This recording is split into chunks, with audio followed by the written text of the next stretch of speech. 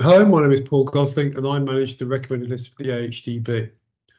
Over the next 20 minutes or so, I'm just going to talk over some of the new developments for the recommended list for 2024-25, uh, focusing on changes to the wheat list. There are other presentations available for other um, crops, and you'll find those also on the website. So first of all, some changes to the publication. Uh, these changes have been made in response to the RL review and also consultation we did with um, users at events over the summer. For so for those of you that contributed to the review and spoke to us over the summer, thank you for that. And I think you'll see some of the changes that you requested. The data for the main crops, including wheat, now runs down as a single table, so that all the information on a variety can be seen together on one page, rather than being spread over several pages. That's something you asked for. So we've implemented that. We've also moved disease ratings and agronomic information up to the top of the tables along with yield because you told us that disease and agronomic information was most important to you when choosing variety. So we've made that change as well. When the booklet comes out in the uh, new year, you'll see that we've added a lot of new information explaining the trialing system, the recommendation process and the data. And the aim of that is to uh, make the information easy to understand and enable users to get more out of the RL. You told us you wanted to understand how the trials were done, so we've added that information into the booklet. Another change we've made is that we will no longer be producing the summer edition of the booklet. That was a small print run, took quite a lot of effort and, and expense to produce that. It did have some extra information in, and we've now incorporated that into the winter edition, so we'll no longer produce that summer edition. Couple of new changes as well to the way you can get information uh, outside of the booklet. Um, the RL app has been changed again in response to, to your requests uh, to allow side-by-side -side comparison of up to three varieties. And that update will be rolled out um, to people that already have the app as an update. If you don't have the RL app, it's very useful. It contains all the information that's in the RL in a slightly different format, um, but it is usable without a phone signal, so you can use it offline um, whenever you want. There's something new um, for the website is a variety indexing tool. Um, that will allow you to search for varieties by name. It will tell you the first and the last year of recommendation, and that will allow you to go to the archive and find when those varieties um, that have come off the list um, were there, and you can get information on those varieties. Because you told us you're sometimes growing varieties which are no longer on the list and you wanted to be able to access information on those varieties. And so we've made that much easier to do. So that's changes to the list. Uh, now moving on to the new winter wheat recommendations.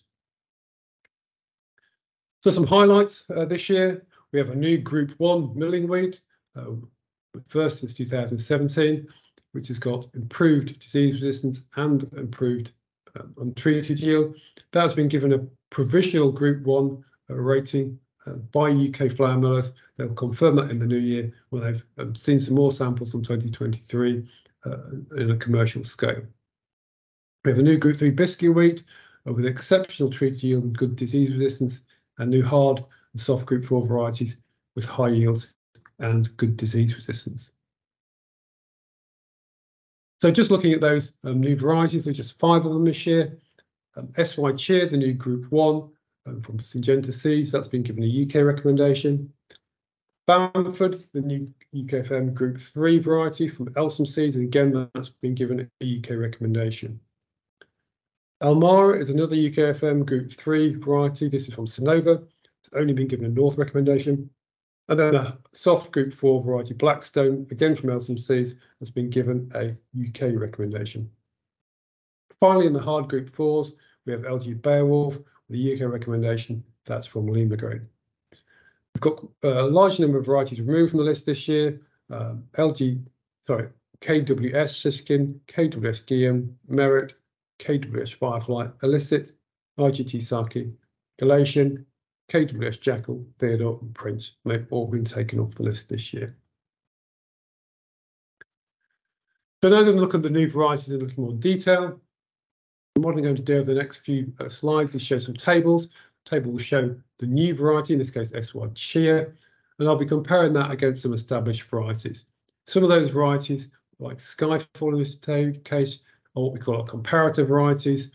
And those are varieties, when we look at the new varieties, the crop committee compares those against our comparative varieties to see if the new variety is better than our comparator and therefore can be added onto the list. In some cases, also show some varieties which aren't comparative varieties, but are established and important in the market. And in this case, we have Crusoe. So looking at SY Cheer, um, has a good uh, UK treated yield, 97%. It's not quite as high as Zyatt, um, but it is higher than Skyfall and Crusoe. The E treated yield again is good, 97%, better than Skyfall and Crusoe. And the West treated yield is also good at 98%, and better than Crusoe and Skyfall. North treated yield is limited data, which is why it's bracketed, but it looks very good at 98% and well ahead of Crusoe and ahead of Skyfall. In terms of grain quality, Cheer looks good. Um, Hagberg 299, so that's ahead of both Crusoe and Skyfall, and a very good specific weight at 79.5, well ahead of Crusoe and just ahead of Skyfall. In terms of protein, the trial's grown to a milling specification, 13%, not quite as good as Crusoe, which is of course class leading on protein, um, but ahead of Skyfall. And the millers in general uh, seem to like Cheer. It has good gluten strength. Uh, they're, they're very keen to use this variety. Lodging with PGR uh, for Cheer is a 7, so not quite as good as Crusoe, but the same as Skyfall. And in terms of ripening, it's very similar to Crusoe, uh, not quite as early as Skyfall. Cheer hasn't been given um, UKP branding uh, suitable for export, um, which is um, perhaps a little bit disappointing, for, um, but it's the same as Skyfall, which also doesn't have it. Crusoe does have UKP export branding. In terms of disease resistance, this is where Cheer really starts to stand out.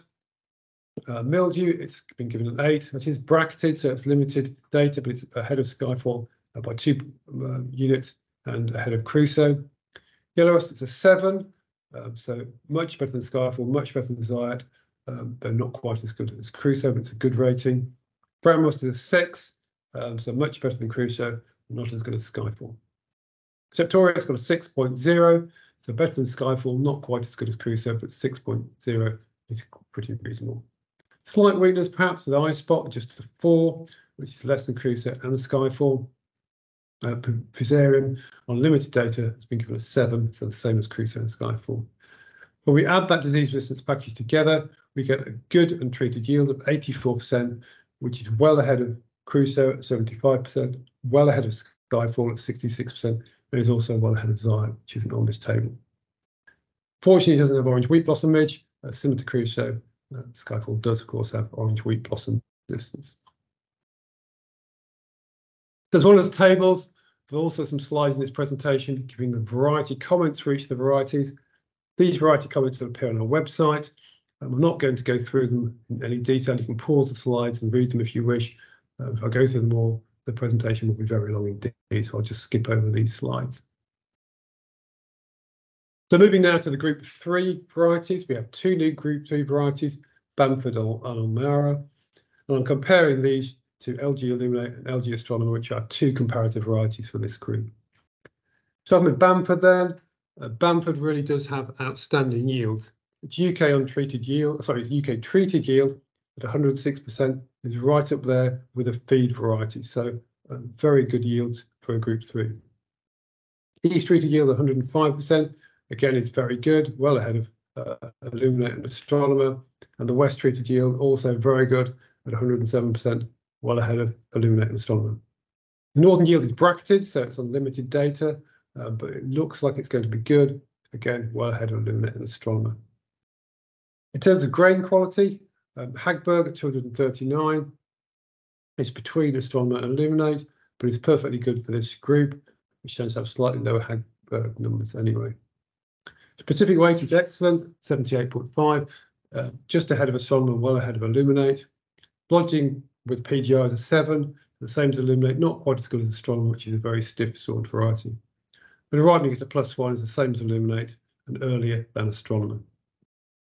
All these varieties have been rated, rated as medium for distilling. In terms of UKS branding export, Bamford has been given a provisional yes, uh, suitable, um, similar to Illuminate. Uh, Astronomer, of course, doesn't have export branding. The other new group uh, three this year is Almara. Almara has only been given a north recommendation because it's lower yielding than the east and west. The north yield data is bracketed at 102%, but that is a high yield for the north for group three, 2% ahead of Illuminate and 5% ahead of Astronomer. Hagberg is a little bit low at 186, but as I say, group threes tend to have lower Hagbergs, and so it's acceptable for this group. Specific weight at 77.6 is ahead of Illuminate and not as good as Astronomer, but it's still perfectly good. With a lodging of seven, uh, same as Illuminate, and not quite as good as Astronomer, which we already said it's very stiff variety. And like Bamford, it's a plus one on the, ripening, so the same as Illuminate, earlier than Astronomer, and again, medium for distilling and potential for UK export um, from Almara. So multiple um, options for marketing that one. Moving on to pest and disease resistance. Um, Bamford has been given a six for mildew. It's bracketed, which is on limited data, but that's better than both Illuminate and Astronomer, which is weak on mildew. Yellow rust is a seven, um, same as Illuminate, just behind Astronomer. Brown rust is six, same as Illuminate, just behind Astronomer. And Bamford does have a good Septoria score of 6.7, well ahead of Illuminate and Astronomer. It has a six for eyespot. It has the PCH1 um, eyespot resistance gene. Fusarium is slightly lower, but it is a bracketed figure of five. And that disease package put together uh, gives it an excellent untreated yield 92%, well ahead of Illuminate, well ahead of Astronomer. The only weakness there on that package is it doesn't have orange root blossom leaf resistance. In terms of Almara, um, again, a six bracketed for mildew, uh, so better than Illuminate and Astronomer and good for the north, where it's been recommended. Yellow is an eight, same as Astronomer and better than Illuminate. Brown is a six, same as Illuminate, not quite as good as Astronomer. And Septoria with a 6.0, so better than Illuminate and slightly better than Astronomer.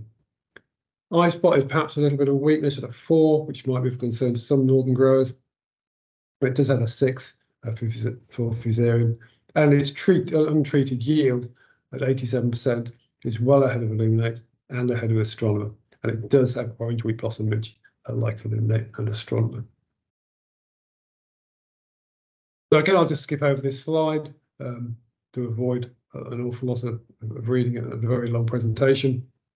You can pause on it if you wish to read it or find these on our website. So moving then on to our soft group four varieties, we have just one new variety this year, Blackstone. And I'm comparing this to Skyscraper and Bairstow, our two comparators for this group. Blackstone's UK treated yield is 103%, so just ahead of Skyscape and Bairstow. Its East treated yield, treated yield is the same as Skyscraper, but ahead of Bairstow. West treated yield is the same as Skyscraper, just behind Bairstow. But it does have a good North treated yield, though. Again, this is a bracketed yield, uh, so we'll wait to see another year's data if that settles out uh, that way. But at the moment, it looks like it has a good North yield, 103%, ahead of both Skyscraper and Bairstow. In terms of grain quality, it's good. It has 299 for Hagberg, well ahead of Skyscraper and Bairstow, and a good specific weight at 78.2 uh, compared with 77.1 for Skyscraper and 76.6 for Bairstow. So that gives that reassurance, um, particularly if you're growing, um, delving into the feed market. Lodging at seven is better than Skyscraper and Bairstow, so again, some reassurance there. It is a little bit later, right me a plus two, which is later than Skyscraper, but very similar to Bairstow.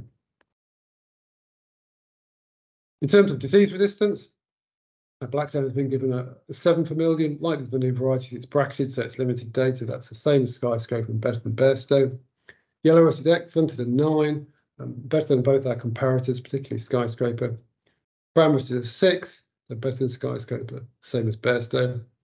And Septoria is good at 6.2, well ahead of Skyscraper uh, and just ahead Bairstow. eyespot is a 5, so perfectly acceptable and better than Bairstow. The Fusarium has got a very good rating of eight. That is bracketed, so we'll see if that's if that stays the same once we've got more data. But that's well ahead of Skyscraper and Bairstow. And that good disease resistance package means It has a good untreated yield, 87%, uh, well ahead of Skyscraper and Bairstow. And Blackstone does have orange wheat blossom midge resistance, the same as the two comparators. Again, I'll skip over um, this um, slide on variety comments. You can find this on the website. I'll pause it and read it here. Moving then on to our new group four hard variety. This is Beowulf. I'm comparing it against Champion, KWS Dawson and Graham, which are our three comparative varieties for this group. Very strong group this, um, but Beowulf is looking very good in terms of yield. UK treated yield the same as Champion, ahead of Dawson and ahead of Graham. In the East, it's again 106%, um, same as Champion, ahead of Dawson and Graham. West is 106%, again the same as Champion and ahead of Dawson and Graham. And in the North, um, again bracketed, so limited data. We'll have to wait for the year to see where it settles out. But at the moment, at 107%, it's looking very good, well ahead of Champion and ahead of Dawson and ahead of Graham. There's some very consistent yields across the region uh, for LG Beowulf. In terms of grain quality, it's pretty good.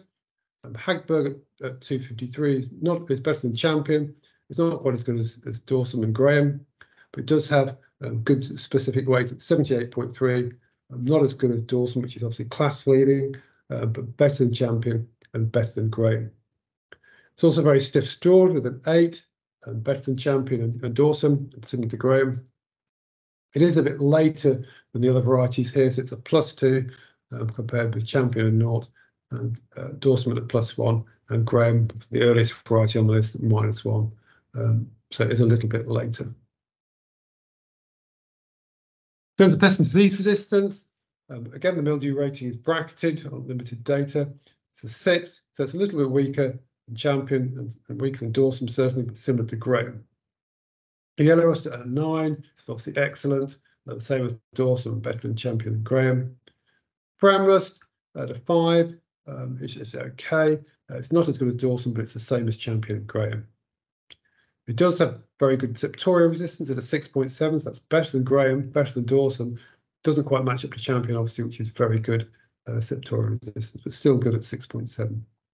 I spot to 6 is better than the, all the comparative varieties, so that's very good, um, for people growing in the north. And for Fusarium, but the bracketed 6 uh, is similar to the comparators. And that untreated yield with that disease resistance package, 91% matches Dawson, it's ahead of Champion and Graham, all of which, of course, are known for their uh, good resistance to diseases and good untreated yields. So good untreated yield for Beowulf. Does have orange wheat blossom midge as well, like Champion, which but which Dawson and Graham do not have. Again, I'll skip over um, variety comments. You can pause on those if you want to read them. So winter wheat summary. Um, for this year, we have that new provisional Group 1 variety, which brings good disease resistance compared to the varieties already there, good untreated yield, and good baking quality. This new Group 3 uh, biscuit variety, um, with exceptional yield for the UK, non-Cougar related septoria resistance, which will be important to some people after what we've seen with the Group 3 over recent years, potential for distilling and export. We have a new Group 3 biscuit variety for the north, and Almara brings high yield for the north and potential for distilling and export. We have a new Group uh, 4 soft variety for the UK with high yield, good grain quality, good disease resistance and potential for distilling. And that hard Group 4 variety for the UK with high treated and untreated yield and good grain quality. Moving on now to spring wheat. We just have two new recommendations this year. WPB Milo, a new Group 2 from LSPB, and SEW 19 300 SW, which has also been which has been given the name of Everlong. It's a, unfortunately, it's a proposed name at this stage. Um, it will be added to the GB and Northern Ireland variety list as Everlong in the spring, provided no presentations are received. And that is of group four uh, from Cope Seeds. We've taken off the list this year KWS Chillum, Hexham, KWS Giraffe, and Talisker. So similar to the um, winter weeds, same, same format. Um, just go through the varieties, comparing them, in this case to Cochise, which is the group two comparator um, crop committees. So WP would be Milo, 103% for spring sown, so 2% um, ahead of Cochise, so good uh, treated yield. Mildew bracketed 8, so limited data, but it looks like a good rating. Yellow rust is 9, so much better than Cochise. Brown rust is 8, a good rating, and the same as Cochise. Septoria, bracketed at this stage, limited data, but a 7, so looks better than Cochise. Um, only thing it really lacks is orange wheat blossom midge, which Cochise does have. In terms of grain quality, specific weight is 77.2, so behind Cochise, but still pretty good. And it does have a good um, Hagberg falling number 297, uh, which will be reassuring after a year like this year. Obviously, the late harvest, the spring wheat uh, is not ideal. Protein content at 13.3 is, is behind Cochise, but perfectly good for a group two. And it's a little bit later than Cochise, but with that Hagberg um, at 297, that's perhaps not such a problem. It's a little bit shorter than Cochise as well. Again, I'll skip over the variety comment. You can pause and look at that if you want to. The other group for uh, the spring wheat, I should say, sorry, is um, a group four variety. I'm going to call it Everlong because it's just much easier. Um, and we're comparing that to our comparator Fixum. So UK uh, treated yield 107%, so 1% ahead of Fixum.